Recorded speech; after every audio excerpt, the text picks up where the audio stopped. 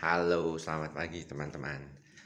Saya saat ini sudah mau bersiap-siap untuk pergi melakukan olahraga pagi seperti biasa.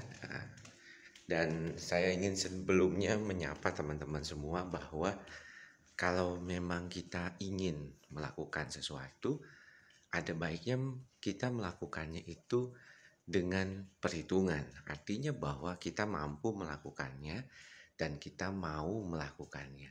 Yang paling penting tuh maunya dulu tuh, karena sering kali kita tuh nggak mau ya melakukan apa yang kita harapkan itu terjadi.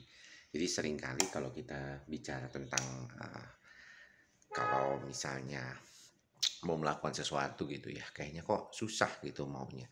Dan sepertinya harus menunggu waktu yang perfect, yang tepat, yang semuanya harus siap sampai akhirnya kita tuh menunda-nunda.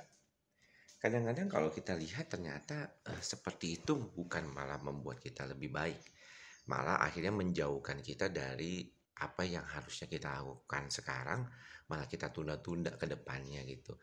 Nah, buat teman-teman yang masih ragu untuk melakukan sesuatu, lakukanlah gitu. Tidak perlu sampai terlalu perfect gitu ya, atau terlalu sempurna untuk melakukan itu.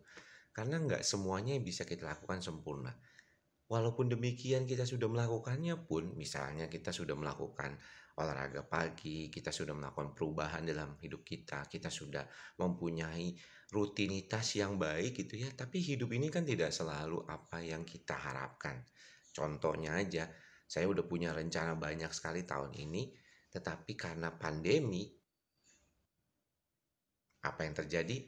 Semuanya batal dan sampai tahun depan saya sudah merencanakan tidak akan pergi uh, dengan pesawat terbang sampai tahun 2021. Jadi rencana indah yang mungkin awalnya kita punya bisa saja kita tidak dapatkan. Lalu kalau misalnya demikian, apa yang kita harus lakukan? Hiduplah hari demi hari dan jangan menunda untuk melakukan sesuatu yang bisa teman-teman lakukan sekarang. Oke, selamat pagi semuanya. Saya mau jalan pagi dulu ya. Thank you. Bye-bye.